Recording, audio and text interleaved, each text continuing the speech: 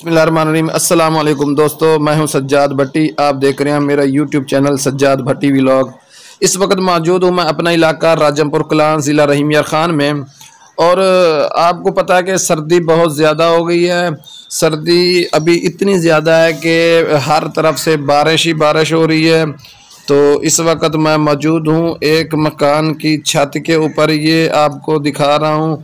ये मकान की छत है।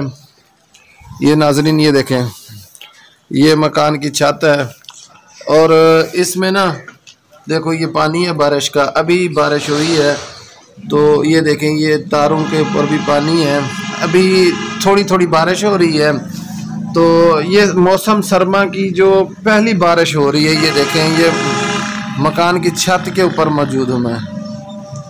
तकरीबन ये दो का टाइम है, दिन के दो का दो बज चुके हैं तो बारिश भी अभी शुरू हुई है तकरीबन एक घंटा होने वाला है बारिश शुरू हो, हुई हुई है। तो ये देखें मैं आपको दिखा रहा हूँ ये देखें बारिश देखें। ये पानी है बारिश का।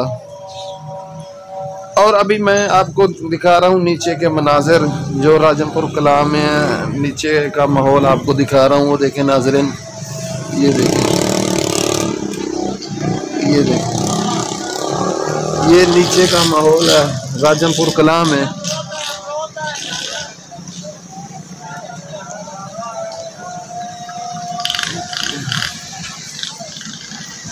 ये देखें नाजरीन। ये राजमपुर का एरिया एरिया है और मैं खड़ा हूँ एक मकान की छत के ऊपर। हाँ जी। तो ये बारिश में ये देखें मेरे मैंने जैकेट पहनी हुई है। और मुझ पर भी पानी बारिश का आ रहा है। ये देखें नाजरीन। अभी ये इलाका है, ये नीचे का इलाका है, ये देखें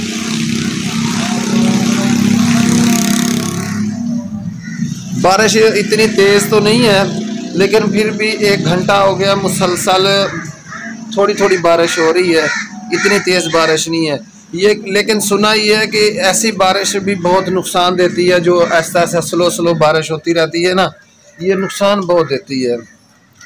तो हम तो दुआ चाहेंगे अल्लाह ताला से कि भी बारिश अगर हो भी सही तो रहमत की बारिश होनी चाहिए, ताकि मुल्क के हालात तो वैसे हमारे ऐसे हैं कि लोग बहुत परेशान हैं, जो गरीब हैं, इधर के हुक्मरान हमारे इतने ालिम बैठे हुए हैं कि उनको कि सिर्फ़ अपना पता है जो हमने कैसे हुकूमत ली और हमने कैसे चलाना है। लेकिन गरीब आवाम को उनको नहीं पता कि ये गरीब आवाम कैसे गुजारा कर रहे हैं। इसलिए हम दुआ करते हैं कि मौसम सरमा की ये पहली बारिश है। और इस, ये बारिश अल्लाह ताला से हम दुआ करेंगे कि ये कोई नुकसान इस बारिश में ना हो, जानी नुकसान।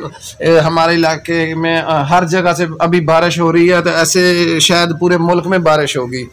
तो हम दुआ करेंगे कि ऐसी बारिश जो होती है, ये नुकसानदा होती है, जो ऐसा ऐसा चलती रहती है। तकरीबन एक घंटे से ऊपर हो गया इस बारिश को।